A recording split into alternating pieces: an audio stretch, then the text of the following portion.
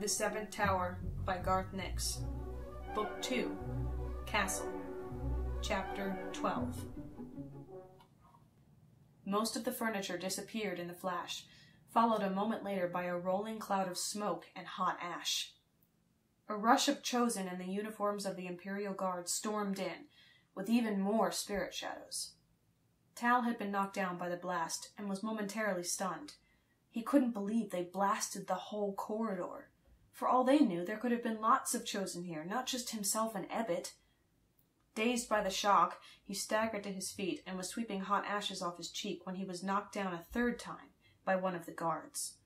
The guard immediately knelt on Tal's back and twisted his arms up so he couldn't get at his sunstone or a weapon. Got him! yelled the guard. You get down from there! Another guard shouted at Milla. He didn't sound too concerned, which puzzled Tal. Then he realized that they must have thought she was an underfolk renegade, and that Tal was the one who had damaged the spirit shadows. Underestimating Milla was not something anyone did more than once, Tal thought. But this time she needed to run, not fight. Desperately he willed her to run. His mouth seemed to be full of ash, so he couldn't shout. Milla didn't run. Tal heard a cry of surprised pain from the guard who'd ordered her down. He craned his head back to see, but all he caught was a pair of boots staggering back, many other boots charging forward, and lots of spirit shadows moving around. It's not an underfolk. Some sort of creature. Use light. Wear the sword. Stand back. There was another flash of light and another explosion of ashes, but it hadn't hit Milla. A spirit shadow screeched, followed by cursing and shouting from the guards, and the strange belling sound of steel meeting Merwin horn.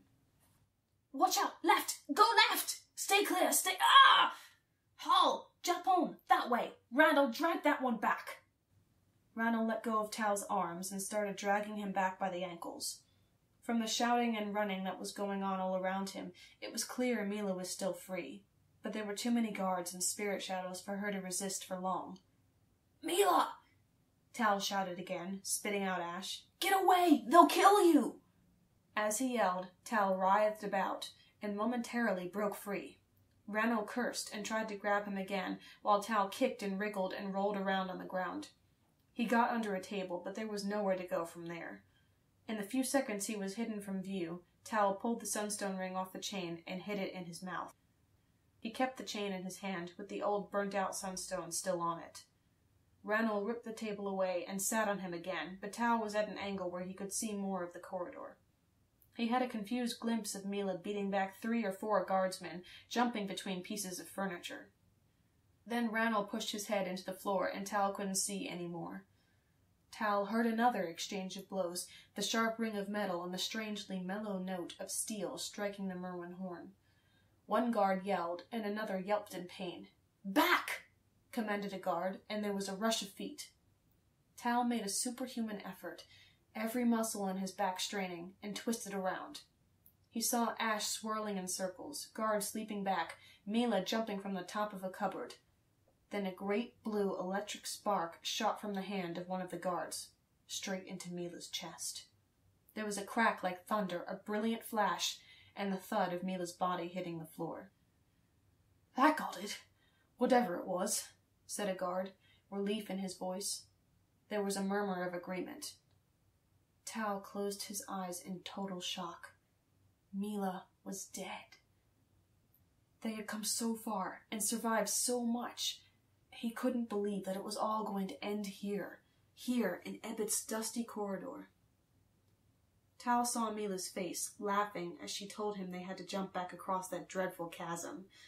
Milla, who should have lived to become a shield maiden and have songs sung of her exploits. Now the far raiders would never even know what had become of their bravest daughter. Rough hands rolled Tal over, and someone took the chain and his ruined sunstone out of his hand. Tal opened his eyes as the guard searched him for weapons. Everything had gone wrong in an instant. It was all over, not just for Milla, but for Tal, his family, everyone. The guard's spirit shadow knelt next to Tal's head, ready to grab him if he moved. The other claw held Tal's spirit shadow up by the scruff of its neck. Once again, it had taken the shape of a Dattu. You're Tal Graile-Rerem? asked a voice, someone outside Tal's field of vision. He started to turn his head, but stopped when the spirit shadow's clawed hands closed around his neck. Yes, he muttered dully. He could hardly be bothered to hide the sunstone in his cheek. Nothing mattered any more. He had failed, and Milla was dead. It's him, confirmed another voice. I saw him play Beastmaker.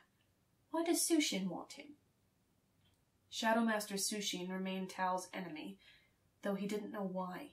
Bleakly, Tal wondered how Sushin, who was only a bright star of the Orange, had the power to send Imperial guards after Tal. And why would he bother? Where did that other one come from, Tal? asked the guard who'd questioned his identity. From the Underfolk depths. Who made the sword for her? She was my guest, mumbled Tal mechanically. His voice seemed to come from far away, as if it weren't really him speaking. Milla. She is she was an Icecarl. from outside. Silence greeted this answer as the guards stopped what they were doing. There was a nervous sort of half laugh and a cough before they all started moving again. Outside? What do you mean, outside? Outside the castle, said Tal. From the ice. You expect us to believe that? asked the guard. She sounded angry now. No, replied Tal bitterly, but it's true. Take them away, ordered the guard. Tal to the pit, the girl to the Hall of Nightmares. Let Fashnik get the truth out of her, and no one is to speak of this. Understood? There was a chorus of agreement and a sudden bustle of activity. For a few seconds, the full meaning of what the guard had said didn't sink in. The words slowly repeated over and over in his head. The girl to the Hall of Nightmares. He felt like a four-year-old struggling to read. Then it hit him, all at once. Milla must be alive. They wouldn't take a corpse to answer questions in the Hall of Nightmares. Tal found a tiny spark of hope light up in the darkness inside him, but it did not lift it completely. Milla might be alive, but both of them were in terrible danger, Milla perhaps most of all. The Hall of Nightmares was a place where spirit shadows could enter your dreams and change them into nightmares. It was the place where chosen who transgressed the Empress's laws were punished.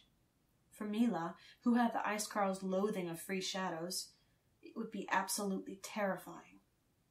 Tal gasped as a spirit shadow suddenly wound itself around him, securing his arms and legs, then extending a thin tentacle across his eyes. It felt something like his own shadow guard, but not entirely, like putting on a familiar shirt that was unexpectedly damp. It was also strong enough to completely bind him, and he could see nothing through its shadow flesh blindfold. Only then did he think about what was going to happen to him. Milla was going to the Hall of Nightmares, but he was being taken to the pit. Tal had never even heard of the pit.